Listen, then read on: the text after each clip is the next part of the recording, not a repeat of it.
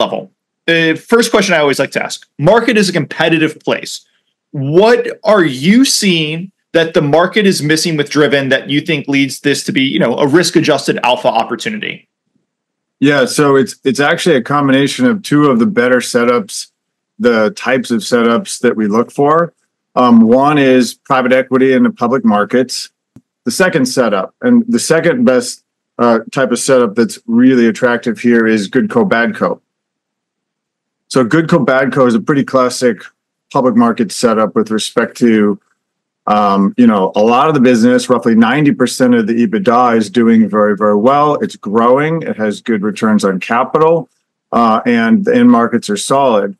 Uh, 10% of the EBITDA here is quote unquote badco, and that has what has uh, you know made the price go from let's call it $30 a share to currently 14 a share. But it's only 10% of the EBITDA. Those issues, which are U.S. car wash, are largely ring fenced, uh, I believe, and they are actually in the process of potentially divesting that segment. Right? They are running a process. This is a comment that we've received not only from management, but also industry sources that Driven has been attempting to sell U.S. car wash. Uh, it's a it's a big slug. It's a big business, so it may or may not sell. But if it sells, it's going to sell by year end, and, and so that's but that's the good co, bad co. Ninety percent of the business is doing great.